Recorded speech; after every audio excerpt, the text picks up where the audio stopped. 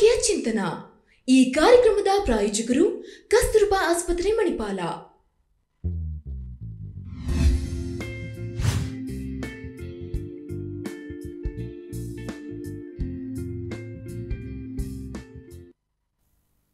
ನಮಸ್ಕಾರ ವೀಕ್ಷಕರೇ. ಕಸ್ತೂರ್ಬಾ ಆಸ್ಪತ್ರೆ ಮಣಿಪಾಲ್ ಅರ್ಪಿಸುವ ಆರೋಗ್ಯ ಚಿಂತನಾ ಕಾರ್ಯಕ್ರಮಕ್ಕೆ ತಮಗೆಲ್ಲರಿಗೂ ಕೂಡ ಪ್ರೀತಿಯ ಸ್ವಾಗತ. ಪ್ರತಿ ವಾರ ನಾವು ಆರೋಗ್ಯಕ್ಕೆ ಸಂಬಂಧಪಟ್ಟಂತೆ ಒಂದೊಂದು ವಿಚಾರಗಳ ಬಗ್ಗೆ ನಿಮಗೆ ಮಾಹಿತಿಯನ್ನ ನೀಡ್ತಾ ಇದ್ದೇವೆ. ಅದೇ ರೀತಿ ಇವತ್ತಿನ ಸಂಚಿಕೆಯಲ್ಲಿ ನಾವು ಡೆಂಗ್ಯೂ ಜ್ವರದ ಬಗ್ಗೆ ಸಂಪೂರ್ಣವಾದ ಮಾಹಿತಿಯನ್ನ ನೀಡ್ತಾ ಹೋಗ್ತೇವೆ. ಯಾವ ಕಾರಣಗಳಿಂದ ಬರ್ತದೆ, ಇದರ ಲಕ್ಷಣಗಳೇನು, ಹಾಗೆ ಇದನ್ನ ನಾವು ಹೇಗೆ ತಡೆಗಟ್ಟಬಹುದು? ಇದ್ರ ಬಗ್ಗೆ ಸಂಪೂರ್ಣವಾದ ಮಾಹಿತಿಯನ್ನ ನೀಡುವುದಕ್ಕೆ ನಮ್ಮ ಜೊತೆ ಇದ್ದಾರೆ ಸಾಮಾನ್ಯ ವೈದ್ಯಕೀಯ ವಿಭಾಗದ ಸಹಾಯಕ ಪ್ರಾಧ್ಯಾಪಕರಾಗಿ ಸಹ ಪ್ರಾಧ್ಯಾಪಕರಾಗಿರುವಂತಹ ಡಾಕ್ಟರ್ ಶುಭದಾ ಅವರು ಮೊದಲದಾಗಿ ಅವರನ್ನ ಕಾರ್ಯಕ್ರಮಕ್ಕೆ ಸ್ವಾಗತಿಸ್ತಾ ಇದ್ದೇನೆ. ಡಾಕ್ಟರ್ ಕಾರ್ಯಕ್ರಮಕ್ಕೆ ಸ್ವಾಗತ. ಧನ್ಯವಾದ. ಹಾಗೆ ವೀಕ್ಷಕರೇ, ನೀವು ಕೂಡ ಡೆಂಗ್ಯೂ ಜ್ವರದ ಬಗ್ಗೆ ನಿಮ್ಮಲ್ಲಿ ಏನೇ ಪ್ರಶ್ನೆಗಳಿದ್ರು ಕೂಡ ನಮ್ಮ ಕಾರ್ಯಕ್ರಮಕ್ಕೆ ಕರೆ ಮಾಡಿ ಕೇಳಬಹುದು. ನಮ್ಮ ನಂಬರ್ ಟಿವಿ ಸ್ಕ್ರೀನ್ ಮೇಲೆ ಡಿಸ್ಪ್ಲೇ ಆಗ್ತಾ ಇರ್ತದೆ. ಡಾಕ್ಟರ್ ಇವತ್ತು ನಾವು ಮುಖ್ಯವಾಗಿ ಡೆಂಗ್ಯೂ ಜ್ವರದ ಬಗ್ಗೆ ಮಾತನಾಡ್ತಾ ಹೋಗ್ತೇವೆ. ಸಾಮಾನ್ಯವಾಗಿ ಮಳೆಗಾಲದಲ್ಲಿ ಡೆಂಗ್ಯೂ ಜ್ವರ ಜಾಸ್ತಿ ಜನರಲ್ಲಿ ಕಾಣಿಸ್ಕೊಳ್ತದೆ ಅಂತ ಹೇಳ್ಬಹುದು. ಸೊ ಆದ್ರೂ ಕೂಡ ನಾವು ಒಂದು ಮಾಹಿತಿಯನ್ನು ನೀಡುವಂತ ಕಾರ್ಯಕ್ರಮವನ್ನ ಇವತ್ತಿನ ಕಾರ್ಯಕ್ರಮದಲ್ಲಿ ಮಾಡ್ತಾ ಇದ್ದೇವೆ. ಮುಖ್ಯವಾಗಿ ನನ್ನ ಮೊದಲನೆಯ ಪ್ರಶ್ನೆ, ಈ ಡೆಂಗ್ಯೂ ಜ್ವರ ಅನ್ನುವಂಥದ್ದು ನಮ್ಮ ಭಾರತದಲ್ಲಿ ಆಗಿರ್ಬಹುದು ಕರ್ನಾಟಕದಲ್ಲಿ ಆಗಿರ್ಬಹುದು ಇಲ್ಲಿ ಮಾತ್ರ ಕಾಣಿಸ್ಕೊಳ್ತದ? ಅಥವಾ ಬೇರೆ ಎಲ್ಲಾ ಕಡೆಯೂ ಕೂಡ ಕಾಣಿಸ್ಕೊಳ್ತದ ಅಂತ? ಡೆಂಗಿ ಜ್ವರವು ಡೆಂಗಿ ಅಥವಾ ಡೆಂಗ್ಯೂ ಅಂತಕ್ಕೆ ನಾವು ಬ್ರೇಕ್ ಬೋನ್ ಫೀವರ್ ಅಂತಲೂ ಕರಿತೇವೆ. ಈ ಜ್ವರವು ಬರೀ ಭಾರತದಲ್ಲಿ ಮಾತ್ರವಲ್ಲ ಎಲ್ಲ ಉಷ್ಣವಲಯ ಅಥವಾ ಸಮ ಸಮ ಶೀತೋಷ್ಣ ಜಾಗಗಳಲ್ಲೂ. ಇರಬಹುದು. ಆ, ಹೆಚ್ಚಾಗಿ ಇದು ಭಾರತದಲ್ಲಿ ಬಹಳಷ್ಟು ಕಂಡು ಬರ್ತದೆ.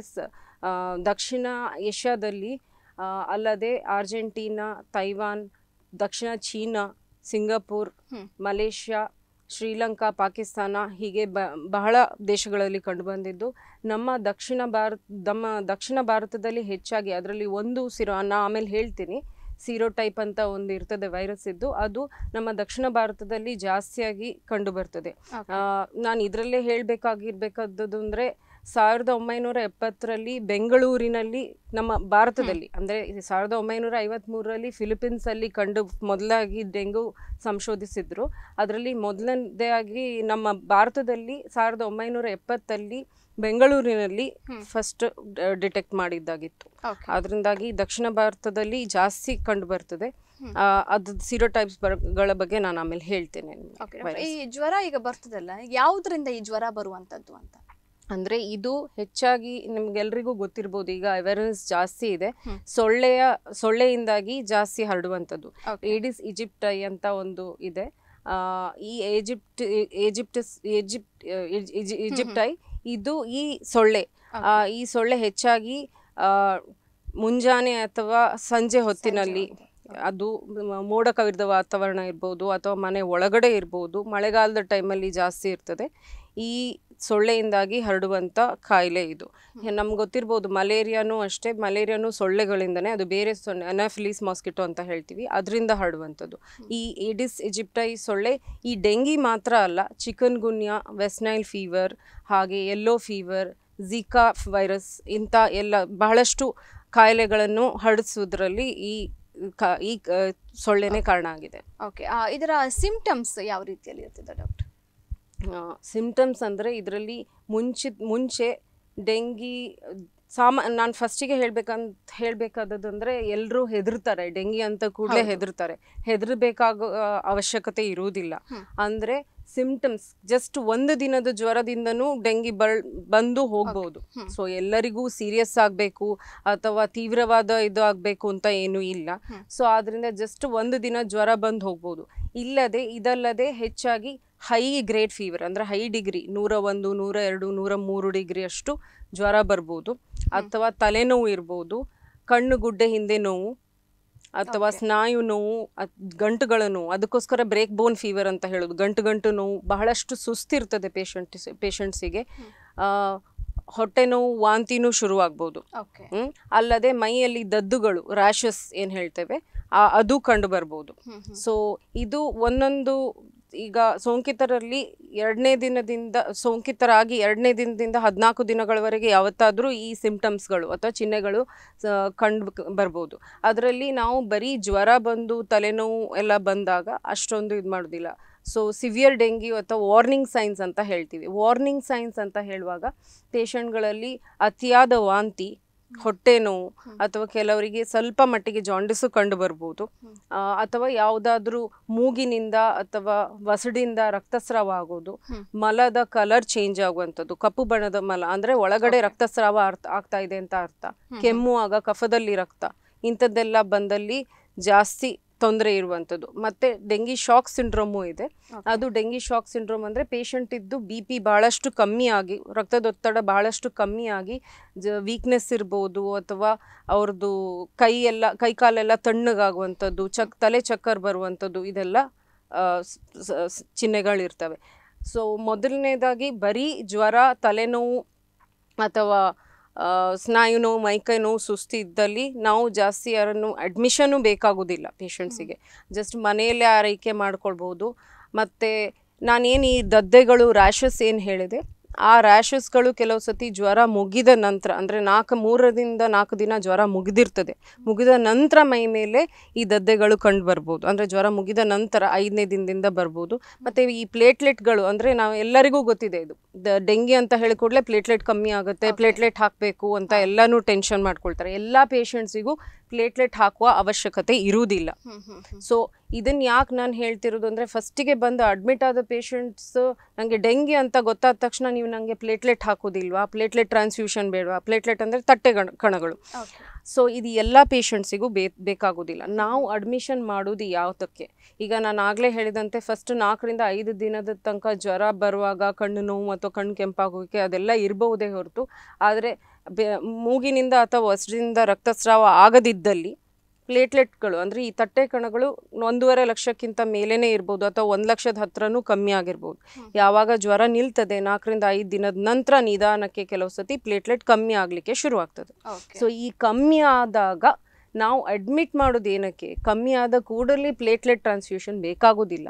ಕಮ್ಮಿಯಾಗಿ ಅದರಿಂದ ಆಗುವ ತೊಂದರೆಗಳೇನಾದರೂ ಇದ್ದರೆ ನಾವು ಅಬ್ಸರ್ವೇಷನಲ್ಲಿ ಇರ್ಬೋದು ಪೇಷಂಟ್ ನಾ ಹೇಳಿದಂಗೆ ಶಾಕಿಗೆ ಹೋಗ್ಬೋದು. ಅಂದರೆ ಬಿ ಪಿ ರಕ್ತದೊತ್ತಡ ಕಮ್ಮಿ ಆಗ್ಬೋದು. ಅವರು ತಗೊಳ್ಳೋ ಆಹಾರ ಕಮ್ಮಿ ಇರ್ಬೋದು. ಊಟ ಸೇರ್ತಿರೋದಿಲ್ಲ ಅವರಿಗೆ. ಸೊ ಇಂಥ ಟೈಮಲ್ಲಿ ಐ ವಿ ಫ್ಲೂಯಿಡ್ಸ್ ಬೇಕಾಗ್ತದೆ ಪೇಷಂಟ್ಸಿಗೆ ಅವರ ರಕ್ತದೊತ್ತಡನ ಸ ಸಮಪಡಿಸಲಿಕ್ಕೆ. ಅದಲ್ಲದೆ ಈ ಜ್ವರದಿಂದ ಬರೀ ರಕ್ತ ಇದು ಪ್ಲಾಸ್ಮಾ ಸೋರುವಿಕೆ ಅಂದರೆ ನಾವೇನು ಪ್ಲಾಸ್ಮಾ ಕ್ಯಾಪಿಲರಿ ಪರ್ಮಿಯಬಿಲಿಟಿ ಅಂತ ಹೇಳ್ತೀವಿ. ಸಣ್ಣ ರಕ್ತನಾಳಗಳದ್ದು ಪರ್ಮಿಯೇಷನ್ ಪರ್ಮಿಯಬಿಲಿಟಿ ಜಾಸ್ತಿ ಆಗಿ ಈ ಪ್ಲಾಸ್ಮಾ ಸೋರುವಿಕೆಯಾಗಿ ಅಲ್ಲಿ ಅಲ್ಲಿ ಅಂದರೆ ಕಾಲು ಊತ ಇರ್ಬೋದು ಮುಖ ಊತ ಇರ್ಬೋದು ಇದೆಲ್ಲನೂ ಕಂಡುಬರ್ಬೋದು ಪೇಷಂಟಲ್ಲಿ ಸೊ ಇದನ್ನೆಲ್ಲ ಅಬ್ಸರ್ವೇಷನಲ್ಲಿ ಇಡಲಿಕ್ಕೆ. ಮತ್ತು ದಿನದಿಂದ ದಿನಕ್ಕೆ ನಾವು ಆಸ್ಪತ್ರೆಯಲ್ಲಿ ಇದ್ದಾಗ ಪೇಷಂಟಿಗೆ ಪ್ಲೇಟ್ಲೆಟ್ ಕಣವನ್ನು ಅಥವಾ ತಟ್ಟೆ ಕಣಗಳನ್ನು ಎಷ್ಟಿದೆ ಅಂತ ಚೆಕ್ ಮಾಡ್ಬೋದು.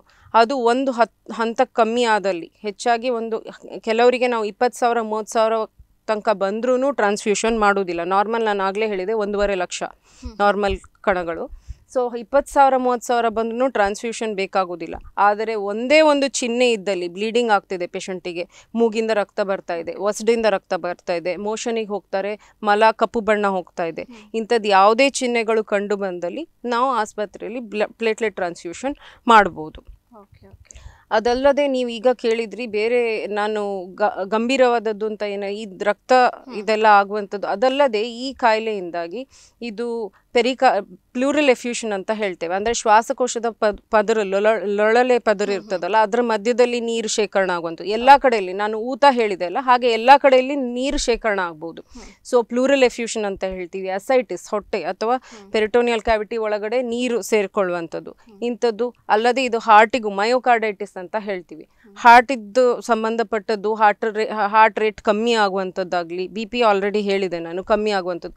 ಸೊ ಬಹಳಷ್ಟು ಅಂಗಾಂಗಗಳಿಗೆ ಇದು ಎಫೆಕ್ಟ್ ಆಗ್ಬೋದು. ಜಾಂಡಿಸ್ ನಾನು ಹೇಳಿದೆ. ಆಮೇಲೆ ಲಿವರ್ ಎನ್ಸೈಮ್ಸ್ ಅಂತ ಹೇಳ್ತೀವಿ. A S T L T levels ಅಂತ ಹೇಳ್ತೀವಿ. A S T L T ಎಲ್ಲ ಲಿವರ್ ಎನ್ಸೈಮ್ಸ್ಗಳು ಅದು ಸುಮಾರು ಐನೂರಕ್ಕಿಂತನೂ ಜಾಸ್ತಿ. ಅಂದರೆ ಇದೆಲ್ಲ severe dengue with warning signs and severe ಡೆಂಗ್ಯೂಲ್ಲಿ ಆಗುವಂಥದ್ದು. ಇಂಥದ್ದೆಲ್ಲ ಆದರೆ ಡೆಫಿನೆಟ್ಲಿ ಅವರಿಗೆ ಕೆಲವರಿಗೆ I C U I C U ಬೇಕಾಗ್ಬೋದು. ಯಾಕೆಂದರೆ ಶ್ವಾಸಕೋಶದ ತೊಂದರೆನೂ ಬರ್ಬೋದು. ಎಲ್ಲ ಅಂಗಗಳು ಇನ್ವಾಲ್ವ್ ಆಗ್ಬೋದು. ಶ್ವಾಸಕೋಶ ತೊಂದರೆ ಬರ್ಬೋದು ದಮ್ಮು ಬರ್ಬೋದು ಅವರಿಗೆ ಇಂಟಿ ವೆಂಟಿಲೇಟರ್ ಬೇಕಾಗ್ಬೋದು. ಸೊ ಇಂಥದ್ದೆಲ್ಲ ತೊಂದರೆಗಳು ಆಗುತ್ತೆ ಓಕೆ ಡಾಕ್ಟರ್ ಈಗ ಆ ಟೈಮಲ್ಲಿ ಅವರಿಗೆ ಏನು ಸಿಂಪ್ಟಮ್ಸ್ ಕಾಣಿಸ್ಕೊಳ್ತದೆ? ತುಂಬಾ ಸುಸ್ತಿರ್ತದ ಅಂತ ಆ ಟೈಮಲ್ಲಿ ಹೌದು. ವಾಮಿಟ್ ಜ್ವರ ಇಲ್ಲ ತಲೆನೋವು ಎಲ್ಲ ಕಾಣಿಸ್ಕೊಳ್ತದಲ್ಲ? ಸೊ ಮೇನ್ ಮೇನ್ ಅಂದರೆ ಮುಖ್ಯವಾದ ತೊಂದರೆನೇ ಅವ್ರ ಪೇಷಂಟ್ಸಿಗೆ ಇರೋದು ಮೈಕೈ ನೋವು ಸುಸ್ತು ಗಂಟು ನೋವು. ಸೊ ಬಂದು ಅಡ್ಮಿಟ್ ಆದ ಕೂಡಲೇ ಕಮ್, ಸುಸ್ತು ಕಮ್ಮಿ ಆಗಲಿಲ್ಲ, ಗಂಟು ನೋವು ಕಮ್ಮಿ ಆಗಲಿಲ್ಲ ಅಂತ ಹೇಳ್ತಾರೆ. ನಾನು ಇದನ್ನು ವೀಕ್ಷಕರಿಗೆ ಹೇಳಬೇಕು. ಇದು ವೈರಲ್ ಜ್ವರ. ವೈರಲ್ ಜ್ವರ ಬಂದು ನಿಮಗೆ ಒಂದು ಐದರಿಂದ ಆರು ದಿನ ಅಥವಾ ಒಂದು ವಾರದ ತನಕನೂ ಈ ಸುಸ್ತು ಕಮ್ಮಿ ಆಗೋದಿಲ್ಲ. ನೀವು ರೆಸ್ಟ್ ಮಾಡಬೇಕು ಪೌಷ್ಟಿಕ ಆಹಾರ ತಗೊಳ್ಬೇಕು. ಯಾಕಂದ್ರೆ ಆಹಾರನೂ ಸೇರ್ತಿರುವುದಿಲ್ಲ ಹೌದು. ಸೊ ಅದರಿಂದಾಗಿ ಆಹಾರನು ಏನು ತಗೊಳ್ಬೋದು ಅಂತ ಆಮೇಲೆ ಹೇಳ್ತೇನೆ. ಸೊ ಪೌಷ್ಟಿಕ ಆಹಾರ ತಗೊಳ್ಬೇಕಾಗುತ್ತೆ ಬಹಳಷ್ಟು ನೀರು ಸೇವನೆ ಬೇಕಾಗುತ್ತೆ. ಇಲ್ಲಾದ್ರೆ ಈ ಸುಸ್ತು ಕಮ್ಮಿ ಆಗೋದಿಲ್ಲ. ನಾವು ಟ್ರೀಟ್ಮೆಂಟ್ ಕೊಟ್ರು ಐ ವಿ ಫ್ಲೂಯಿಡ್ಸ್ ಕೊಟ್ರು ಈ ಸುಸ್ತು ಬಹಳಷ್ಟು ದಿನ ಕೆಲವರಿಗೆ ಡಿಸ್ಚಾರ್ಜ್ ಆಗಿ ಒಂದು ಮೂರ್ನಾಲ್ಕು ದಿನ ಅಥವಾ ಟೋಟಲ್ ಒಂದು ಹತ್ತು ದಿನದವರೆಗೂ ಈ ಸುಸ್ತು ಇರ್ತದೆ. ಡಿಸ್ಚಾರ್ಜ್ ಆಗಿಯೂ ಕೂಡ ಹತ್ತು ದಿನ ಒಳಗೆ ಕೂಡ ಅವರಿಗೆ ಸುಸ್ತಿ ಮತ್ತೆ ಡಾಕ್ಟರ್ ಈ ಜ್ವರ ಒಬ್ಬರಿಂದ ಒಬ್ಬರಿಗೆ ಹರಡ್ತದ ಅಂತ? ಇದೀಗ ಮೊದಲನೇ ಒಬ್ರಿಂದ ಒಬ್ರಿಂದ ಮುಟ್ಟು ಮುಟ್ ಮುಟ್ಟುದ್ರಿಂದ ಸೋಂಕು ಆ ಥರ ಹರಡೋದಿಲ್ಲ. ಆದರೆ ಒಂದು ಸೊಳ್ಳೆ ಕಚ್ಚಿದ ಒಂದು ಡೆಂಗಿ ಇರುವ ಪೇಷಂಟಿಗೆ ಕಚ್ಚಿದರೆ ಅದರದ್ದು ಅದು ಯಾವ ಪೀರಿಯಡಲ್ಲಿ ಇರ್ತದೆ ಅಂತ ಇದು ಅದರದ್ದು ಹೊಟ್ಟೆ ಒಳಗಡೆ ಹೋಗಿ ಅಲ್ಲಿ ಅದರದ್ದು ಲೈಫ್ ಸೈಕಲ್ ಚೇಂಜ್ ಆಗಿ ಆಮೇಲೆ ಮತ್ತೆ ಒಂದು ಅದರದ್ದು ಸಲೈವರಿ ಗ್ಲ್ಯಾಂಡ್ ಅಂತ ಇರ್ತದಲ್ಲ ಅದಕ್ಕೆ ಏನಾದರೂ ಸೆಕ್ರಿಟ್ ಆದಾಗ ಅಂದರೆ ಅದ್ರ ಅದರಲ್ಲಿ ಬಂದಾಗ ಅದು ಅದೇ ಸೊಳ್ಳೆ ಮತ್ತೊಬ್ಬರಿಗೆ ಕಚ್ಚಿದ್ರೆ ಡೆಫಿನೆಟ್ಲಿ ಇದು ಹರಡುತ್ತದೆ ಸೊ ಒಂದು ಸತಿ ಸೋಂಕಿತವಾದ ಸೊಳ್ಳೆ ಅದು ಸಾಯುವ ತನಕ ಎಷ್ಟೋ ಜನರಿಗೂ ಅದನ್ನು ಮತ್ತೆ ಬೇರೆಯವರಿಗೆ ಇನ್ಫೆಕ್ಷನ್ ಸೋಂಕು ಇದು ಮಾಡ್ಬೋದು. ಓಕೆ ಮತ್ತೆ ರಕ್ತ ಪರೀಕ್ಷೆಗಳು ಹೇಗೆ ಮಾಡ್ತೀರಾ ಏನೇನು ಇರ್ತದೆ ಅಂತ ಅವರಿಗೆ? ಈ ಪೇಷಂಟ್ಸಿಗೆ ಫಸ್ಟ್ ನಾನು ಆಗಲೇ ಹೇಳಿದೆ ಮೇನ್ ಬೇಕಾಗೋದು ಕಂಪ್ಲೀಟ್ ಬ್ಲಡ್ ಕೌಂಟ್ ಸೊ ಈ ಕಂಪ್ಲೀಟ್ ಬ್ಲಡ್ ಕೌಂಟಲ್ಲಿ ಹಿಮೋಗ್ಲೋಬಿನ್ ರಕ್ತ ಇದು ರಕ್ತ ಇದು ಪ್ಲಾಸ್ಮಾ ಸೋರುವಿಕೆ ಅಂತ ಹೇಳಿದೆ. ಅದೆಲ್ಲ ಆಗೋದ್ರಿಂದಾಗಿ ಹಿಮೋಗ್ಲೋಬಿನ್ ಕೌಂಟ್ ಆರ್ಟಿಫಿಷಿಯಲ್ ಅಂದರೆ ನಮಗೆ ಕಾಣೋದಕ್ಕಿಂತನೂ ಜಾಸ್ತಿ ಹಿಮ್ಯಾಟೋಕ್ರಿಟ್ ರಕ್ತ ದಪ್ಪ ಆಗುವಿಕೆ ಅಂತ ಹೇಳ್ತೇವೆ ನಾವು. ಅದು ಡಿಹೈಡ್ರೇಷನ್ ಅಂದರೆ ನೀರು ಕ- ಕಮ್ಮಿ ಆಗಿರೋದ್ರಿಂದ ಆಗುವಂಥದ್ದು. ಸೊ ಇದು ಹಿಮೋಗ್ಲೋಬಿನ್ ನಮ್ಮದು ಸಾಮಾನ್ಯ ಮಟ್ಟಿಗೆ ಹನ್ನೆರಡು ಹದಿಮೂರು ನಾರ್ಮಲ್ ಇದೆ. ಡೆಂಗಿ ಬಂದಾಗ ಹದಿನೈದು ಹದಿನಾರು ತೋರಿಸ್ಬೋದು. ಸೊ ಅದು ಐ ವಿ ಫ್ಲೂಯಿಡ್ಸ್ ನಾವು ಏನು ಕೊಡ್ತೇವಲ್ಲ ಅದನ್ನೆಲ್ಲ ಕೊಟ್ಟಾಗ ಅದು ಸರಿಪಡಿಸ್ಬೋದು ಅದಲ್ಲದೆ ಈ ಡಬ್ಲ್ಯೂ ಬಿ ಸಿ ಕೌಂಟ್ಸು ಸ್ವಲ್ಪ ಕಮ್ಮಿ ಆಗ್ತದೆ. ತಟ್ಟೆ ಕಣಗಳು ಪ್ಲೇಟ್ಲೆಟ್ ಕೌಂಟ್ಗಳು ಬಹಳಷ್ಟು ಕಮ್ಮಿ ಆಗ್ಬೋದು. ಆಮೇಲೆ ಅದಕ್ಕೆ ಟ್ರಾನ್ಸ್ಫ್ಯೂಷನ್ನು ಬೇಕಾಗ್ಬೋದು. ಅದಲ್ಲದೆ ಲಿವರ್ ಎನ್ಸೈಮ್ಸು ಇದಾಗ ಚೇಂಜಸ್ ಬರ್ಬೋದು. ಮತ್ತೆ ನಾವು ಯಾವ ಹೇಗೆ ಡಿಟೆಕ್ಟ್ ಮಾಡ್ತೀವಿ? ಈಗ ಕಾರ್ಡ್ ಟೆಸ್ಟ್ಗಳು ಇರ್ತವೆ. ಡೆಂಗಿ ಕಾರ್ಡ್ ಟೆಸ್ಟ್ ಅಂತ ಹೇಳ್ತೀವಿ. ಸುಲಭವಾಗಿ ಅದರಲ್ಲಿ ಪಾಸಿಟಿವ್ ಅಥವಾ ನೆಗೆಟಿವ್ ಅಂತ ಅದರಲ್ಲಿ ಡಿಟೆಕ್ಟ್ ಮಾಡ್ಬೋದು. ಅದಲ್ಲದೆ ನ್ಯಾಟ್ ಅಥವಾ N S one antigen test ಈ ವೈರಸ್ ಇದ್ದು ಆರ್ ಎನ್ ಎಗಳನ್ನು ಕಂಡುಹಿಡುವಂಥದ್ದು. ಇದು ಸೋಂಕಿತವಾಗಿ ಒಂದು ಒಂದು ವಾರದ ಒಳಗಡೆ ಮಾತ್ರ. ಅದಲ್ಲದೆ antibody test I G M antibodies ಅದು ಸಾಧಾರಣ ಹನ್ನೆರಡು ವಾರದ ತನಕ ಪಾಸಿಟಿವ್ ಇರ್ತದೆ. ಸೊ ಒಂದು ಪೇಷಂಟಿಗೆ ಆಲ್ರೆಡಿ ಒಂದು ದಿನ ಜ್ವರ ಬಂದು ಹೋಗಿದೆ. ಆಮೇಲೆ ಬೇರೆ ಯಾವುದೋ ಕಾರಣಕ್ಕೆ ಬಂದು ತೋರಿಸ್ತಾರೆ. ಒಂದು ವಾರದಲ್ಲಿ ಒಂದು ವಾರ ಆಗಿರ್ತದೆ. ಪ್ಲೇಟ್ಲೆಟ್ ಕಣಗಳು ಕಮ್ಮಿ ತೋರಿಸ್ತಾ ಉಂಟು. ಜ್ವರ ಇಲ್ಲ ಪೇಷಂಟಿಗೆ ಆ ಟೈಮಲ್ಲಿ ನಾವು ಡೆಂಗಿ ಐ ಜಿ ಎಂ ಆ್ಯಂಟಿಬಾಡೀಸನ್ನು ಕಳಿಸಿದ್ರೆ ಅದು ಪಾಸಿಟಿವ್ ಬರುತ್ತೆ. ಒಂದು ವಾರದ ನಂತರ ಒಂದು ಐದು ದಿನದ ನಂತರನೂ ಮೂರರಿಂದ ಐದು ದಿನದ ನಂತರ ಪಾಸಿಟಿವ್ ಬಂದು ಹನ್ನೆರಡು ವಾರಗಳ ಅದು ಪಾಸಿಟಿವ್ ಆಗಿ ಇರ್ಬೋದು. ಇದು ಮುಖ್ಯವಾಗಿ ಮಾಡುವಂಥದ್ದು ಬ್ಲಡ್ ಟೆಸ್ಟ್ಗಳು ಅದಲ್ಲದೆ ನಾನು ಆಗಲೇ ಹೇಳಿದೆ, ಶ್ವಾಸಕೋಶದ ಪದರಿನಲ್ಲಿ ನೀರು ತುಂಬಿಕೊಳ್ಳೋದು, ಅದೆಲ್ಲ ಆಗೋದಕ್ಕೆ ಚೆಸ್ಟ್ ಎಕ್ಸ್ರೇ ಯಾಕೆಂದರೆ ಇಂಥ ಪೇಷಂಟ್ ನೀರು ತುಂಬಿಕೊಂಡಾಗ ಇಂಥ ಪೇಷಂಟ್ಗಳಿಗೆ ಒಣ ಕೆಮ್ಮು ಬರ್ಬೋದು. ಸೊ ಯಾವ ಅಂಗ ಇನ್ವಾಲ್ವ್ ಆಗಿದೆ, ಯಾವ ಅಂಗ ಎಫೆಕ್ಟ್ ಆಗಿದೆ, ಅದರ ಮೇಲೆ ಪೇಷಂಟ್ಗಳಿಗೆ ಬೇರೆ ಬೇರೆ ರೀತಿಯ ರೋಗ ಚಿಹ್ನೆಗಳು ಬರ್ಬೋದು ಓಕೆ ಡಾಕ್ಟರ್ ಈಗ ಕೆಲವರು ಈಗ ಜ್ವರ, ಈ ವಾಂತಿ ಎಲ್ಲ ಕಾಣಿಸ್ಕೊಂಡಾಗ ಸೊ ಅವರಿಗೆ ಗೊತ್ತಿರುವುದಿಲ್ಲ ಇದು ಡೆಂಗ್ಯೂ ಜ್ವರದ ಸಿಂಪ್ಟಮ್ಸ್ ಅಂತ ಹೇಳಿ. ಸೊ ಟ್ಯಾಬ್ಲೆಟ್ ಏನಾದರೂ ಇದ್ರೆ ಅಂದರೆ ಮುಂಚೆ ಎಲ್ಲಾದರೂ ತಗೊಂಡಿದ್ದು ಇದ್ರೆ, ಮನೆಯಲ್ಲೇ ಇದ್ರೆ ಅದನ್ನ ತಗೊಳ್ತಾರೆ, ಇಲ್ಲದಿದ್ರೆ ಮೆಡಿಕಲ್ಗೆ ಹೋಗಿ ತಗೊಂಡು ಬರ್ತಾರೆ. ಸೊ ಇದರಿಂದ ಮತ್ತೆ ಜಾಸ್ತಿ ಆಗುವ ಸಂದರ್ಭ ಇರ್ತದ ಡೆಂಗ್ಯೂ ಜ್ವರ ಅಧಿಕವಾಗುವಂಥದ್ದು ಖಂಡಿತವಾಗಿಯೂ. ನಾವು ಏನು ಹೇಳ್ತೇವೆ ಅಂದರೆ ಈಗ ಡೆಂಗಿ ಜ್ವರದಲ್ಲಿ, ಅಥವಾ ಯಾವುದೇ ವೈರಲ್ ಜ್ವರಗಳಲ್ಲಿ ಎಸ್- ಡೆಂಗಿ ಜ್ವರದಲ್ಲಿ ಜಾಸ್ತಿಯಾಗಿ ಈ. ತಟ್ಟೆ ಕಣಗಳು ಪ್ಲೇಟ್ಲೆಟ್ಸ್ ಕಮ್ಮಿ ಆಗೋದ್ರಿಂದ ನೀವು ಪ್ಯಾರಾಸಿಟಮಾಲ್ ಡೋಲೋ ಕ್ರೋಸಿನ್ ಯಾವುದೇ ಇರ್ಬೋದು. ಆ, ಇರುವಂಥದ್ದು ಪ್ಯಾರಾಸಿಟಮಾಲ್ ಅನ್ನು ಮಾತ್ರ ನೀವು ಸೇವಿಸಬಹುದು. ಜ್ವರ ಬಂದು ಅಂತ ಹೇಳಿ ಅಥವಾ ಮೈಕೈ ನೋವು ಅಂತ ಹೇಳಿ ಬಹಳಷ್ಟು ನೋವಿನ ಗುಳಿಗೆಗಳನ್ನೆಲ್ಲ ತಗೊಂಡ್ರೆ ಈ ಪ್ಲೇಟ್ಲೆಟ್ ಕಣಗಳು ಇನ್ನಷ್ಟು ಕಮ್ಮಿ ಆಗುವ ಚಾನ್ಸಸ್ ಇರ್ತದೆ. ಆದ್ರಿಂದಾಗಿ ನಾವು ಎಲ್ಲ ಪೇಷಂಟ್ಸಿಗೂ ಹೇಳ್ತೇವೆ ಜ್ವರ ಬಂದ್ರೆ ಪ್ಯಾರಾಸಿಟಮಾಲ್ ಮಾತ್ರ ತಗೊಳ್ಳಿ. ಬೇರೆ ಯಾವ ಟ್ಯಾಬ್ಲೆಟ್ಸ್ ಅನ್ನು ಸೇವಿಸಬೇಡಿ. ನಿಮಗೆ ಟೆಸ್ಟ್ಗಳು ಮಾಡದೆ ಮಾಡ ಮಾಡುದು ಇದಲ್ಲ ಅಂತ ಸೇಫ್ ಅಲ್ಲ ಅಂತ ಹೇಳಿ. ಓಕೆ ಡಾಕ್ಟರ್ ಈಗ ಅವರು ಆಸ್ಪತ್ರೆಗೆ ಬರ್ತಾರೆ ಈಗ ಜ್ವರ ಅಂತ ಅಂದಾಗ ಟೆಸ್ಟ್ ಎಲ್ಲ ಮಾಡ್ತೀರಿ. ಮತ್ತೆ ಅವರಿಗೆ ಟ್ರೀಟ್ಮೆಂಟ್ ಹೇಗೆ ಇರ್ತದೆ ಅಂತ. ಪೇಷಂಟ್ಸ್ ನಾನು ಆಲ್ರೆಡಿ ಆಗಲೇ ಹೇಳಿದೆ, ಕೆಲವು ಪೇಷಂಟ್ಸ್ ಬಂದು ಅವ್ರಿಗೆ ಜ್ವರ ಎಲ್ಲ ಕಮ್ಮಿ ಆಗಿರ್ತದೆ. ಅವ್ರು ಜಸ್ಟ್ ಬ್ಲಡ್ ಟೆಸ್ಟ್ ಹೊರಗಡೆ ಮಾಡಿದ್ದಲ್ಲಿ ಪ್ಲೇಟ್ಲೆಟ್ ಕಣಗಳು ಎಂಬತ್ತು ಸಾವಿರ ಅಂತ ತೋರಿಸ್ತಾ ಉಂಟು. ಅದಕ್ಕೆ ಬಂದು ಗಾಬರಿಯಾಗಿ ಬರ್ತಾರೆ. ಸೊ ಇಲ್ಲೇ ಸಮೀಪದ ಊರಿನವರಾಗಿದ್ದರೆ ಮಾರನೇ ದಿನ ಅಥವಾ ಅದರ ಎರಡು ದಿನ ಬಿಟ್ಟು ಇನ್ನೊಂದು ಸತಿ ನಾವು ಪ್ಲೇಟ್ಲೆಟ್ ಕಣಗಳನ್ನು ಬಂದು ಮತ್ತೆ ಟೆಸ್ಟ್ ಮಾಡಿ ನೋಡಿ ಅಂತ ಹೇಳ್ತೇವೆ. ಹೆಚ್ಚಾಗಿ ಕೆಲವು ಸತಿ ಏನಾಗ್ತದೆ, ಅದು ಪ್ಲೇಟ್ಲೆಟ್ ಲೆವೆಲ್ಗಳು ಕಮ್ಮಿ ಆಗಿ ನಾಲ್ಕು ಅಥವಾ ಐದನೇ ದಿನದಿಂದ ಕಮ್ಮಿಯಾಗಿ ನಿಧಾನಕ್ಕೆ ಎರಡು ಮೂರು ದಿನದಲ್ಲಿ ಸ್ವಯಂ ಜಾಸ್ತಿ ಆಗ್ತಾ ಹೋಗ್ತವೆ.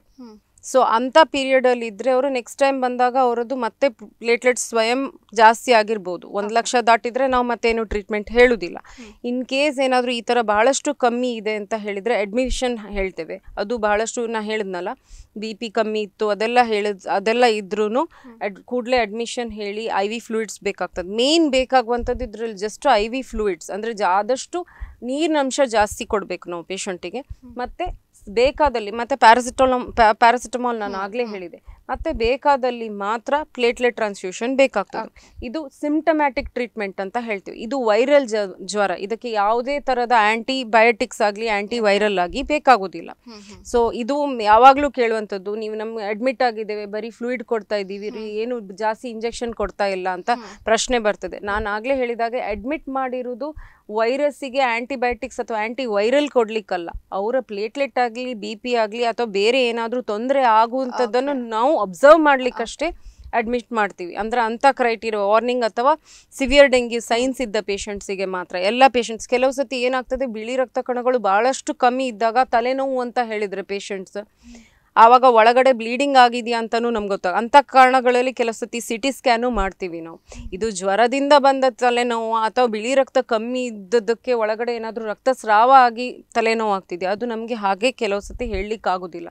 ಸೊ ಅಂಥ ಸಮಯದಲ್ಲಿ ನಾವು ಸಿ ಟಿ ಸ್ಕ್ಯಾನ್ಗಳನ್ನು ಮಾಡ್ಬೋದು. ಯಾಕೆಂದರೆ ನಾನು ಹೆಚ್ಚಾಗಿ ನೋಡಿದ್ದೇನೆ. ಪೇಷಂಟ್ಗಳು ಏನು ಹೇಳ್ತಾರೆ ಅಲ್ಲ ಡೆಂಗ್ಯೂ ಅಂತ ಹೇಳಿದರು ಸಿ ಟಿ ಸ್ಕ್ಯಾನ್ ಮಾಡಿದ್ದಾರೆ ಯಾಕೆ ಮಾಡಿದ್ದಾರೆ ಗೊತ್ತಿಲ್ಲ. ನಾರ್ಮಲ್ ಆಗಿ ಇದ್ದಾಗ patient C T scan normal ಇದ್ದಾಗ ಇಂಥ ಪ್ರಶ್ನೆಗಳು ಬರ್ತದೆ ನಮಗೆ. ಆದರೆ ಯಾಕೆ ಮಾಡ್ತೇವೆ ಅಂದರೆ ಇದೇ ಕಾರಣಕ್ಕೆ. ಬಹಳಷ್ಟು ತಲೆನೋವು ಇದ್ದಾಗ ನಮಗೂ ಇದರಲ್ಲಿ ಹೇಳಲಿಕ್ಕೆ ಬರುವುದಿಲ್ಲ ಅದಕ್ಕೋಸ್ಕರ. ಓಕೆ.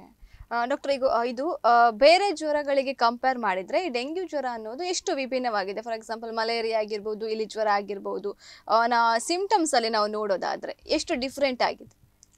ನಾನೀಗ ಇದು ಇದು ಉತ್ತಮವಾದ ಪ್ರಶ್ನೆ. ಯಾಕೆಂದರೆ ನಾನಿಲ್ಲಿ ಸುತ್ತಮುತ್ತ ಇರುವಂಥದ್ದು ಒಂದು ಎರಡು ಮೂರು ಜ್ವರಗಳು. ಅದು ಹೆಚ್ಚಾಗಿ ಮಳೆಗಾಲದಲ್ಲೇ ಕಂಡುಬರುವಂಥ ಜ್ವರಗಳನ್ನು ಜ್ವರಗಳನ್ನ ನೋಡಿದರೆ ಈಗ ನಾನು ಈ ಜ್ವರ ಆಲ್ರೆಡಿ ಹೇಳಿದೆ ನಾನು. ಹೈ ಗ್ರೇಡ್ ಫೀವರ್ ಅಂತ ಹೇಳ್ತೀನಿ. ನೂರ ಒಂದು ನೂರ ಎರಡು ಆ ಥರ ಜ್ವರ ಬಂದು ಚಳಿ ಕಾಣಿಸ್ಕೊಳ್ಬೋದು ಮೈಕೈ ನೋವು ಸುಸ್ತು ಇರ್ಬೋದು. ಮಲೇರಿಯಾದಲ್ಲಿ ವಿಪರೀತ ತಲೆನೋವು ಇರ್ತದೆ. ಚಳಿ ನಡ್ಕ ಬರ್ತದೆ ಪೇಷಂಟಿಗೆ ನಡ್ಕ ಬಂದು ಜ್ವರ ಸ್ವಲ್ಪ ಇಳಿದ ಕೂಡಲೇ ಬೆವರ್ಲಿಕ್ಕೆ ಶುರುವಾಗ್ತದೆ. ಅದಲ್ಲದೆ ಅವರಿಗೂ ಮತ್ತೆ ವಾಂತಿ ಹೊಟ್ಟೆ ನೋವು ಅದು ಬರ್ಬೋದು. ಮತ್ತೆ ಅದರದ್ದು ಕಾಂಪ್ಲಿಕೇಶನ್ಸ್ ಇರ್ಬೋದು ಮಲೇರಿಯಾದು ಕಾಂಪ್ಲಿಕೇಶನ್ಸ್ ಆಗಿ ಮತ್ತೆ ಮೆದುಳು ಜ್ವರದ ಥರನೂ ಆಗ್ಬೋದು ಅವರಿಗೆ. ಸೊ ಅದು ಬೇರೆ. ಮತ್ತೆ ಇನ್ನೊಂದು ಯಾವುದು ಅಂತ ಹೇಳಿದ್ರೆ ಈಗ ಕಂಡುಬರುವಂಥದ್ದು ಇಲಿ ಜ್ವರ. ಇಲಿ ಜ್ವರ ಇಲಿಗಳಿಂದ ಹರಡುವಂಥದ್ದು. ಸೊ ಇಲಿ ಜ್ವರದಲ್ಲಿ ಏನಾಗ್ತದೆ? ಜ್ವರ ಇರ್ತದೆ ಸ್ನಾಯು ನೋವು ಇರ್ತದೆ ಹೊಟ್ಟೆ ನೋವು ಇರ್ತದೆ ಕಾ ಕಾಮಾಲೆ ಇರ್ತದೆ. ಅದಲ್ಲದೆ ಆ ಪೇಷಂಟ್ಗಳಿಗೆ ನಾವು ಟ್ರೀಟ್ಮೆಂಟ್ ಇಲ್ಲದ ಎಲ್ಲ ಪೇಷಂಟ್ಗೆ ಆಗೋದಿಲ್ಲ. ಆದ್ರೆ ಈ ಕಾಮಾಲೆ ಅಥವಾ ಹೊಟ್ಟೆ ನೋವು ಜಾಂಡಿಸ್ನೊಂದಿಗೆ ಕಿಡ್ನಿ ವೈಫಲ್ಯತೆನೂ ಕಂಡು ಬರ್ಬೋದು ಮೂತ್ರ ಕಮ್ಮಿ ಆಗ್ತಾ ಹೋಗ್ತದೆ ಕೆಲವರಿಗೆ. ಸೊ ಟ್ರೀಟ್ಮೆಂಟ್ ಇಲ್ದಿದ್ದಾಗ ಸಡನ್ ಆಗಿ ಕಿಡ್ನಿ ಫೇಲ್ಯೂರು ಬರ್ತದೆ. ಇದ್ರದ್ದು ಟ್ರೀಟ್ಮೆಂಟ್ಗಳು ಇದಾ ಕೊಡ್ಬೋದು ನಾವು. ಓಕೆ ಸೊ ಈಗ ಮಲೇರಿಯಾ ಬಗ್ಗೆ ನಾವು ಮಾತಾಡೋದಾದ್ರೆ ಅದರ ಸಿಂಪ್ಟಮ್ಸ್ ಇದರ ಸಿಂಪ್ಟಮ್ಸ್ ಯಾವ ರೀತಿಯಲ್ಲಿ ವಿಭಿನ್ನವಾಗಿರ್ತದೆ ಅನ್ನುವಂಥದ್ದು? ಹಾಂ. ಡೆಂಗಿ ಜ್ವರ ನಾನು ಹೇಳಿದಾಗೆ ನಾಲ್ಕು ಮೂರರಿಂದ ನಾಲ್ಕು ದಿನ ಅಥವಾ ಐದು ದಿನದವರೆಗೂ ಕಂಟಿನ್ಯೂಸ್ ಆಗಿ ಅಂದರೆ ಒಂದು ಬರ್ತಾ ಇರ್ತದೆ ಆದರೆ ನೂರ ಒಂದು ನೂರ ಎರಡು ನೂರ ಮೂರು ಆ ಥರ ಜ್ವರ ಬರ್ಬೋದು. ಆ, ಅದ್ರ ಜೊತೆಗೆ ನಾ ಹೇಳಿದ್ದೀನಿ ಸ್ನಾಯು ನೋವು ಗಂಟು ನೋವು ಬರ್ಬೋದು ಪೇಷಂಟ್ಗಳಿಗೆ ಕಣ್ಣು ಗುಡ್ಡೆ ಹಿಂದೆ ನೋವು ಬರ್ಬೋದು. ಕಣ್ಣು ಕೆಂಪಾಗುವಿಕೆ ಇರ್ಬೋದು ಹಸಿವು ಕಮ್ಮಿ ಆಗಿರ್ತದೆ ಸುಸ್ತಾಗಿರ್ತದೆ. ಸೊ ಮಲೇರಿಯಾದಲ್ಲಿ ಏನಾಗುತ್ತೆ? ಮಲೇರಿಯಾದಲ್ಲಿ ಮುಖ್ಯವಾಗಿ ಜ್ವರ ಬರುತ್ತೆ. ಇದೇ ತರ ಬಂದು ಬಂದು ಹೋಗುತ್ತೆ. ಕೆಲವು ಜ್ವರ ಕೆಲವು ಸತಿ ಎರಡು ದಿನಕ್ಕೆ ಅದರಲ್ಲೂ ಬೇರೆ ಬೇರೆ ಟೈಪ್ಸ್ಗಳಿವೆ ಅದ್ರ ಮೇಲೆ ಕೆಲವು ಜ್ವರ ಕೆಲವು ಟೈ ಕೆಲವು ಟೈಪಲ್ಲಿ ಎರಡು ದಿನಕ್ಕೊಮ್ಮೆ ಬರುತ್ತೆ. ಕೆಲವುದ್ರಲ್ಲಿ ಒಂದು ದಿನ ಕಂಟಿನ್ಯೂಸ್ ಬರ್ತಾ ಇರುತ್ತೆ. ಆಮೇಲೆ ಜ್ವರ ಬಂದು ಇಳಿಯುವಾಗ ನಾ ಹೇಳಿದ್ದೆ ಬೆವರು ವಿಪರೀತ ಬೆವರು ಬರ್ಬೋದು. ಜ್ವರ ಬಂದಾಗ ಚಿಲ್ಸ್ ಆ್ಯಂಡ್ ರೈಗರ್ಸ್ ಅಂತ ಹೇಳ್ತೇವೆ ನಾವು. Chills and rigors is classical of malaria ನಮಗೆ. ಸೊ ಚಿಲ್ಸ್ ಆ್ಯಂಡ್ ರೈಗರ್ಸ್ ಅಂದರೆ ಚಳಿ ಆಗೋದು ಮತ್ತು ನಡುಕ. ನಾವು ಪೇಷಂಟ್ಸ್ ಹತ್ರ ಹೋಗಿ ಚಳಿ ಆಗ್ತದ ಅಂದರೆ ಹೆಚ್ಚಾಗಿ ಹಾ ಅಂತ ಹೇಳ್ತಾರೆ. ಚಳಿಯಾಗಿ ನಡುಕ್ತೀರಾ. ಹಾ ಅಂತ ಹೇಳಿದ್ರೆ ಅದು ಒಂದು ನಮಗೆ ಮಲೇರಿಯಾದ್ದು ಮುಖ್ಯ ಚಿಹ್ನೆ ಆಗಿರ್ತದೆ. ಸೊ ಅದ್ರ ಮೇಲೆ ತಲೆನೋವು ವಿಪರೀತ ತಲೆನೋವು ಆಗ್ಬೋದು ವಾಂತಿ ಆಗ್ಬೋದು. ಇದೆಲ್ಲನೂ ಸಾಮಾನ್ಯವಾಗಿ ಮಲೇರಿಯಾದಲ್ಲಿ ಇರ್ಬೋದು ಡೆಂಗ್ಯೂ ಅಲ್ಲಿ ಕೂಡ ಇರ್ತದೆ ಇರ್ಬೋದು. ಸೊ ಅದು ನಮಗೆ ಈಗ ಅದೇ ಮುಂಚೆ ಹೇಗಿರ್ತಿತ್ತು ಅಂದರೆ ಡೆಂಗಿ ಹೆಚ್ಚಾಗಿ ಬೆಂಗಳೂರಿನಲ್ಲಿ ಜಾಸ್ತಿ ಬೆಂಗಳೂರಿಂದ ಬಂದ ಪೇಷಂಟ್ಗಳನ್ನ ಹೋಗಿ ಬಂದವರಲ್ಲಿ. ಅಂತ ಅಂತ ಜಾಗಗಳಿಗೆ ಹೋಗಿ ಬಂದವರಲ್ಲಿ ನಾವು ಜಾಸ್ತಿ ಸಂಶಯಿಸ್ತಿದ್ವಿ. ಅಂದ್ರೆ ಸಂಶಯ ಪಡ್ತಿದ್ವಿ. ಎಲ್ಲಾದ್ರೂ ಪೇಷಂಟ್ ಏನಾದ್ರೂ ಬಂದಿದ್ರೆ ನೀವು ಎರಡು ವಾರದಿಂದ ಬೆಂಗಳೂರಿಗೆ ಹೋಗಿದ್ರಾ ಅಂತ ಪ್ರಶ್ನೆ ಕೇಳ್ತಿದ್ವಿ. ಯಾಕಂದ್ರೆ ನಮ್ಮಲ್ಲಿ ಊರ್ ಉಡುಪಿ ಅಥವಾ ಮಂಗಳೂರಲ್ಲಿ ಮಲೇರಿಯಾನೇ ಜಾಸ್ತಿ ಇತ್ತು. ಸೊ ಡೆಂಗಿ ಬಹಳ ಕಮ್ಮಿ. ಆದ್ರೆ ಇತ್ತೀಚಿನ ದಿನಗಳಲ್ಲಿ ಏನಾಗ್ತಾ ಇದೆ ಅರ್ಬನೈಸೇಷನ್ ಆಗ್ತಾ ಇದೆ ಬೇರೆ ಎಲ್ಲನೂ ಚೇಂಜಸ್ ಆಗ್ತಿದೆ ಆದ್ರಿಂದಾಗಿನೂ ಇರ್ಬೋದು. ಈ ಏಡಿಸ್ ಇಜಿಪ್ಟೈ ಸೊಳ್ಳೆಗಳು ನಮ್ಮಲ್ಲೂ ಬರ್ತಿದೆ. ಅದರಿಂದಾಗಿ ಈ ವರ್ಷ ಕಳೆದ ವರ್ಷ ನಮ್ಮ ಆಸ್ಪತ್ರೆಯಲ್ಲಿ ನಾನು ನೋಡಿದ್ದು ಮಲೇರಿಯಾದ ಸಂಖ್ಯೆ ಕಡಿಮೆ ಆಗ್ತಾ ಇದೆ. ಈಗ ನಮ್ಮಲ್ಲಿ ಡೆಂಗಿ ಸಂಖ್ಯೆನೇ ಜಾಸ್ತಿ ಆಗ್ತಾ ಇದೆ. ಸೊ. ಮುಂಚೆ ಮಲೇರಿಯಾ ಜಾಸ್ತಿ ಇರ್ತಿತ್ತು. ಮಲೇರಿಯಾ ಜಾಸ್ತಿ. ಇರ್ತಿತ್ತು. ಎಲ್ಲಾದ್ರೂ ಬೇರೆ ಕಡೆಗೆ ಹೋಗಿ ಬಂದವರಲ್ಲಿ ಮಾತ್ರ ನಾವು ಡೆಂಗಿ ಕಂಡ್ ಈಗ ಹಾಗಲ್ಲ. ನಮ್ಮೂರಲ್ಲೂ ಸುತ್ತಮುತ್ತ ಇರುವ ಪ್ರದೇಶಗಳಲ್ಲೂ ಡೆಂಗಿ ಜ್ವರ ಕಂಡು ಬರ್ತಾ ಇದೆ. ಇದಕ್ಕೆ ರೀಸನ್ ಏನ್ ಡಾಕ್ಟರ್ ಅಂದ್ರೆ ಯಾವ ಕಾರಣ ಒಂದು ನಾನು ಆಗ್ಲೇ ಹೇಳಿದೆ ಗಿಡ ಮರಗಳನ್ನು ಕಡ್ದು ಅರ್ಬನೈಸೇಷನ್ ಮಾಡ್ತಾ ಇದ್ದೇವೆ ನಮ್ಮದು ಸಿಮೆಂಟ್ಗಳು ಸೊ ಇದು ಈಗ ಹೇಳುವಾಗ ಈ ಸೊಳ್ಳೆಗಳು ಎಲ್ಲಿ ಹೆಚ್ಚಾಗಿ ಇರ್ತವೆ ನಾನು ಹೇಳ್ತೇನೆ. ಈ ನಿ, ಹೂದಾನಿಗಳಿರ್ಬೋದು, ನೀರು ತುಂ ನಿಶ್ಚಲವಾದ ನೀರು ಸ್ಟ್ಯಾಗ್ನೆಂಟ್ ವಾಟರ್ ಎಲ್ಲಿ ಇರ್ತದೆ? ಅಂಥ ಜಾಗಗಳಲ್ಲಿ ಜಾಸ್ತಿ ಇದು ಮೊಟ್ಟೆ ಇಟ್ಟು ಲಾರ್ವೆ ಆಗಿ ಈ ಇಡಿಸಿ ಜಿಪ್ಟೈ ಸೊಳ್ಳೆಗಳು ಜಾಸ್ತಿ ಆಗ್ತವೆ. ಸೊ ಹೂದಾನಿಗಳಿರ್ಬೋದು ಅಥವಾ ಇಂಥ ಅರ್ಧ ಉಪಯೋಗಿಸಿ ಬಿಸಾಕಿದ ಟಯರ್ಗಳು ಎಲ್ಲಿ ನೀರ್ಗಳು ಉಳಿತವೆ. ಮತ್ತೆ ಈ ಕಂಟೈನರ್ಗಳು ಬಕೆಟ್ಗಳು ನೀರ್ ತುಂಬಿ ಅರ್ಧ ತುಂಬಿ ಇರ್ತದೆ. ಅಥವಾ ಮಳೆಗಾಲದಲ್ಲಿ ಅರ್ಧ ತುಂಬಿ ಹಾಗೇ ಇರ್ತದೆ. ಅದನ್ನ ನಾವು ಏನು ಕ್ಲೀನ್ ಮಾಡ್ಲಿಕ್ಕೆ ಹೋಗುದಿಲ್ಲ ಬಿಸಾಕ್ಲಿಕ್ಕೆ ಹೋಗುದಿಲ್ಲ. ಅಂತ ಇದರಲ್ಲಿ ಜಾಸ್ತಿಯಾಗಿ ಈ ಸೊಳ್ಳೆಗಳು ಬರ್ತದೆ. ಅದಲ್ಲದೆ ಈಗ ನಾವು ಸಿಮೆಂಟ್ಗಳು ನಾವು ಕಟ್ಟಡಗಳನ್ನು ಜಾಸ್ತಿ ಕಟ್ತೇವೆ. ಸಿಮೆಂಟ್ ಕ್ಯೂರಿಂಗಿಗೆ ನೀರು ಹಾಕ್ತಾರೆ ಅಲ್ಲಿ ನೀರುಗಳು ಸ್ಟ್ಯಾಗ್ನೆಂಟ್ ಸ್ಟಾಗ್ನೆಂಟ್ ಆಗ್ತವೆ. ನಿಶ್ಚಲವಾಗಿರ್ತವೆ. ಅಂತ ಜಾಗಗಳಲ್ಲಿ ಜಾಸ್ತಿ ಆಗ್ತಿದೆ ಅಂತ ಅನಿಸ್ ಹೀಗೆ ಇದಕ್ಕೆ ಜಾಸ್ತಿ ಆಗ್ತಿರುವ ಕಾರಣ ಇರಬಹುದು ಒಂದು. ಮತ್ತೆ ನೀವು ಈಗ ಜ್ವರದ ಬಗ್ಗೆ ಕೇಳ್ತಾ ಇದ್ರಿ. ಇನ್ನು ನಾನು ಇಲಿ ಜ್ವರದ ಆಲ್ರೆಡಿ ಹೇಳಿದ್ದೀನಿ. ಈಗ ನಮ್ಮಲ್ಲಿ ಮತ್ತೊಂದು H one N one H three N two ಇಂಥ ವೈರಸ್ಗಳು ಹಂದಿ ಹಂದಿ ಜ್ವರಗಳು. ಸೊ ಇದು ಎಲ್ಲರಿಗೂ ಗೊತ್ತಿದೆ. ಇದರಲ್ಲಿ ಚಳಿ ಜ್ವರ ಬರುತ್ತೆ ಮೂರು ದಿನದಿಂದ ನಾಲ್ಕು ದಿನ ಜ್ವರ ಬರ್ಬೋದು. ಅದರೊಟ್ಟಿಗೆ ಮೂಗು ಕಟ್ಟೋದು ಶೀತ ಹೇಳ್ತೇವೆ. ನೆಗಡಿ ಆಗುವಂಥದ್ದು ಕೆಮ್ಮು ಒಣ ಕೆಮ್ಮು. ಆದರೆ ಎಚ್ ಒನ್ ಎನ್ ಒನ್ನಲ್ಲಿ ಇದು ಜಾಸ್ತಿ ಆಗಿಬಿಟ್ಟು ಕಫ ಜಾಸ್ತಿ ಸೇರಿಕೊಂಡು ಅದರಿಂದನೂ ತೊಂದರೆ ಆಗೋ ಚಾನ್ಸಸ್ ಇರ್ತದೆ. ಆದರೆ ಹೆಚ್ಚಾಗಿ ಅದರಲ್ಲಿ ತಲೆನೋವು ನೆಗಡಿಗೆ ಸೀಮಿತವಾಗ್ತದೆ ಗಂಟಲು ನೋವು. ಇದಕ್ಕೆ ಸೀಮಿತವಾಗ್ತದೆ. ಆ ಇಂಥ ಲಕ್ಷಣಗಳು ನಮ್ಮ ಡೆಂಗಿ ಅಥವಾ ಮಲೇರಿಯಾದಲ್ಲಿ ನೆಗಡಿ ಗಂಟಲು ನೋವುಗಳು ಕಂಡು ಬರುವುದಿಲ್ಲ. ಡಾಕ್ಟರ್ ಇದಕ್ಕೆ ಲಸಿಕೆ ಇದೆಯಾ ಅಂತ? ಲಸಿಕೆ ಈಗ ನಮ್ಮ ಭಾರತದಲ್ಲಿ ಸದ್ಯಕ್ಕೆ ಯಾವುದು ಉಪಯೋಗದಲ್ಲಿ ಇಲ್ಲ. ಆದರೆ ಎರಡು ಥರದ್ದು ವ್ಯಾಕ್ಸಿನ್ಗಳನ್ನು ಕಂಡು ಬಂದ್ ಕಂಡು ಹಿಡಿದಿದ್ದಾರೆ. ಅಂದರೆ ಈಗ ಯುರೋಪಿಯನ್ ಸೊಸೈಟೀಸಲ್ಲಿ, ಯುರೋಪಿಯನ್ ಯೂನಿಯನ್ ಅವರು ಅದಕ್ಕೆ ಕೊಟ್ಟಿದ್ದಾರೆ. ಅದರಲ್ಲಿ ಒಂದು ಕ್ಯೂಡೆಂಗ ಅಂತ ಒಂದು ಉಪಯೋಗ ಮಾಡ್ತಿದ್ದಾರೆ ಈಗ. ಅದು ಆ ವ್ಯಾಕ್ಸಿನ್ ಸದ್ಯಕ್ಕೆ ಅದು ಡೆಂಗಿಯಲ್ಲಿ ಸೀರೋ ಟೈಪ್ಗಳು. ನಾನು ಇದನ್ನು ನಿಮ್ಗೆ ಹೇಳಲಿಕ್ಕೆ ಮರ್ತೆ. ಸೊ, ಡೆಂಗಿ ವೈರಸ್ ಅನ್ನುವಂಥದ್ದು ಯಾಕೆಂದರೆ ನಾನು ಇದನ್ನು ಹೇಳಬೇಕಿದ್ರೆ ಇದು ಹೇ ಈ ಇದು ಫ್ಲೇವಿ ವೈರಸ್ ಅಂತ ಒಂದು ಫ್ಯಾಮಿಲಿಯಿಂದ ಬರುವಂಥದ್ದು. ಅದರಲ್ಲಿ ಡೆಂಗಿ ಸೀರೋ ಸೀರೋ ಟೈಪ್ಸ್ ಇರ್ತದೆ. DEN one two three four. ಆ ಥರದ್ದು ನಾಲ್ಕು. ಅದರಲ್ಲಿ ಮುಂಚೆ ಸಾವಿರದ ಒಂಬೈನೂರ ತೊಂಬತ್ತೆರಡರ ತನಕ ಡೆನ್ ಒನ್ ಮತ್ತು ತ್ರೀ ಬಹಳಷ್ಟು ನಮ್ಮ ಭಾಳಷ್ಟು ಕಂಡು ಬರ್ತಿತ್ತು. ಡೆನ್ ಟೂ ಇಂದಾಗಿ ಆದಷ್ಟು ಈ ಹೆಮರೇಜಿಕ್ ಫೀವರ್ ಅಥವಾ ಶಾಕ್ ಸಿಂಡ್ರೋಮ್ ಜಾ ಭಾಳ ಆಮೇಲೆ ಡೆನ್ ಫೋರ್ ಅನ್ನುವಂಥದ್ದು ನಮ್ಮ ದಕ್ಷಿಣ ಭಾರತದಲ್ಲಿ ಜಾಸ್ತಿ ದಕ್ಷಿಣ ಭಾರತದಲ್ಲೇ ಜಾಸ್ತಿ ಕಂಡು ಬರ್ತಿತ್ತು. ಆದರೆ ಈಗ ಹಾಗಲ್ಲ ಎಲ್ಲನೂ ಎಲ್ಲ ಕಡೆಯೂ ಕಂಡು ಬರ್ತಾ ಇದೆ. ಸೊ ಈ ನಾಲ್ಕು ಸೀರೋಟೈಪ್ ಸೊ ಈಗ ಏನಾಗುತ್ತೆ ಅಂದರೆ ಒಂದು ಡೆನ್ ಒನ್ನಿಂದ ಯಾರಾದರೂ ಸೋಂಕಿತರಾದರು. ಸೊ ಆವಾಗ ಅವರಿಗೆ ಇಮ್ಯುನಿಟಿ ಅಂತ ಏನು ಹೇಳ್ತೇವೆ ಡೆನ್ ಒನ್ನಿಗೆ ಮಾತ್ರ ನಿ, ಅನಿರ್ದಿಷ್ಟಿತ, ಅಂದರೆ ಲೈಫ್ ಲಾಂಗ್ ಇಮ್ಯುನಿಟಿ ಬರ್ತದೆ. ಆದರೆ ಇನ್ನು DEN two three four sero ಟೈಪ್ಸ್ಗಳು ಇದ್ದ ಸೊ ಅದು ಮತ್ತೆ ಇನ್ಫೆಕ್ಷನ್ ಡೆಂಗ್ಯೂನ ಕಂಡು ಅಂದರೆ ಕ ಉಂಟು ಮಾಡ್ಬೋದು. ಅದೇ ಪೇಷಂಟಲ್ಲಿ ಉಂಟು ಮಾಡ್ಬೋದು.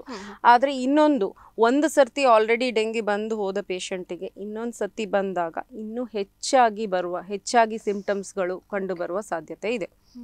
ಸೊ ಅದೇ ಅದೇ ಅದಕ್ಕೋಸ್ಕರನೇ ಒಂದು ವ್ಯಾಕ್ಸಿನನ್ನು ಮುಂಚೆ ಕಂಡು ಬಂದಿದ್ದು ಫಸ್ಟಿಗೆ ಕಂಡು ಹಿಡಿದಿದ್ರು. ಅದು ಇವಾಗ ಜಾಸ್ತಿ ಚಾಲನೆ ಇಲ್ಲ ಇದೇ ರೀಸನ್ಗೋಸ್ಕರ ಯಾಕೆಂದರೆ ಆ ವ್ಯಾಕ್ಸಿನ್ ಫಸ್ಟಿಗೆ ಮುಂಚಿತವಾಗಿ ಯಾರು ಒಂದು ಸತಿಯಾದರೂ ಡೆಂಗಿಯಿಂದ ಬಳಲಿದ್ದಾರ.